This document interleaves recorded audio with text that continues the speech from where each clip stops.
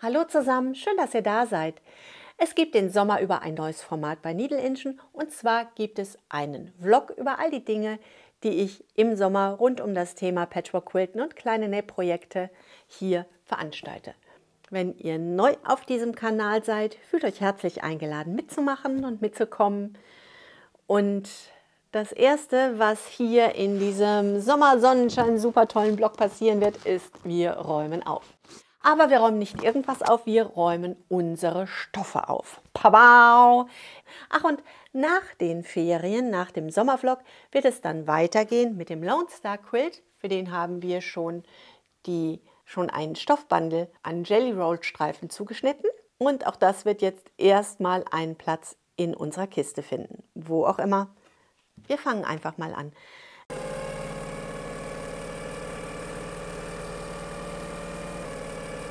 Es gibt sehr, sehr viele Möglichkeiten, Stoffe zu sortieren und ich habe mich ganz lange bemüht, das super professionell hinzubekommen.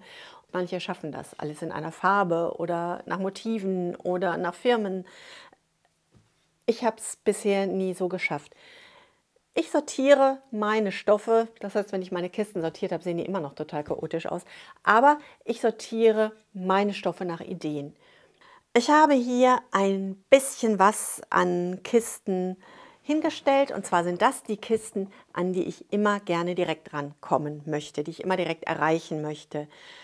Es gibt dann noch die Kisten, die gut verstaut sind und es gibt dann noch die Stoffe, die ich versteckt habe, weil mich sonst jeder für verrückt hält, dass ich noch mehr Stoffe gekauft habe.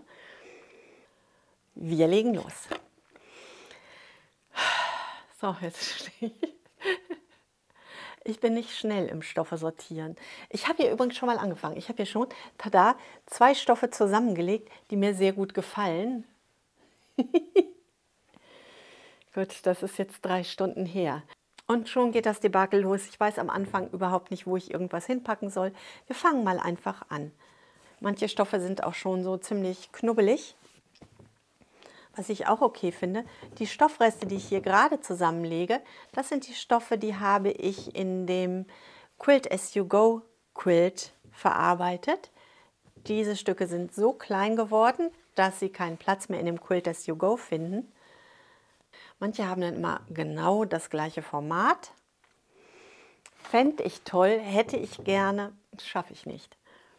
Ja, und das ist ein Hintergrundstoff, der ganz anders verarbeitet wird, den möchte ich gerne als Hintergrund für einen Quilt haben. Und das sind Reststücke vom Quilt as you go. Also wird das schon mal definitiv eine andere, einen anderen Platz bekommen. Ach hier, guck mal. Hier habe ich ein bisschen was ausprobiert. Das ist jetzt die Frage, lasse ich das dran oder entferne ich das wieder? Ich denke, das entfernen wir hier mal eben.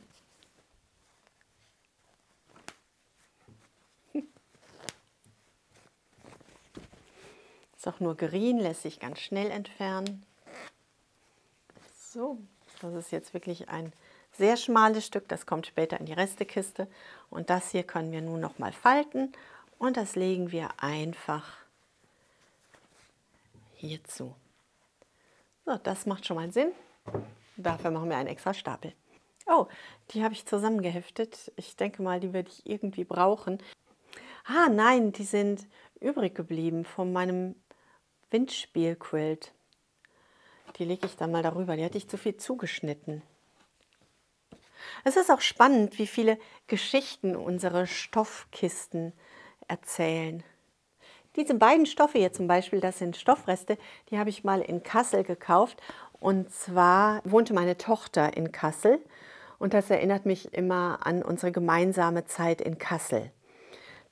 Das heißt, die Stoffe werde ich auf jeden Fall zusammen verarbeiten. Und die werde ich auch immer zusammen aufbewahren, denn für mich gehören diese Stoffe vom Kopf her zusammen. Und dann habe ich noch eine Kiste, die ich schnell zur Verfügung haben möchte. Yay!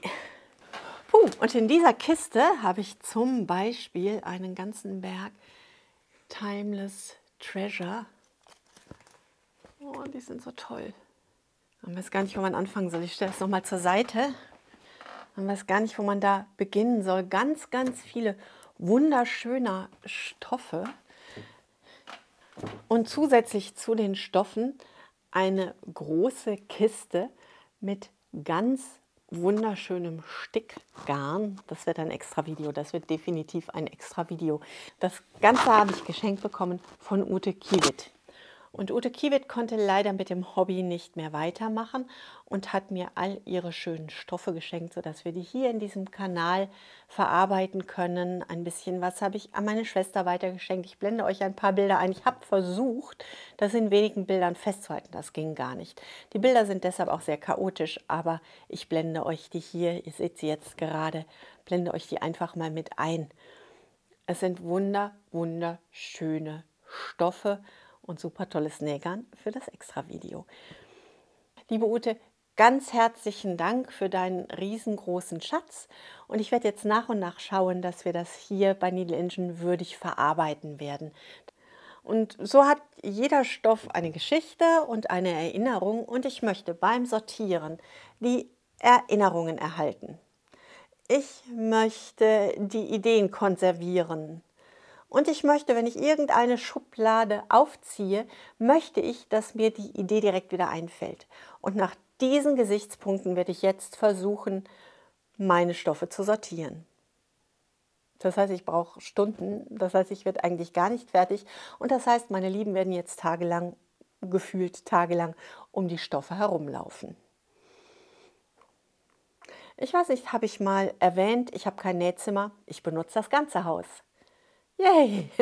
Legen wir los. Welche Erfahrungen habt ihr mit dem Aufräumen von Stoffen? Folgt ihr da einem genauen Prinzip oder macht ihr das eher so, hey, da ist noch ein schöner Stoff, so wie ich?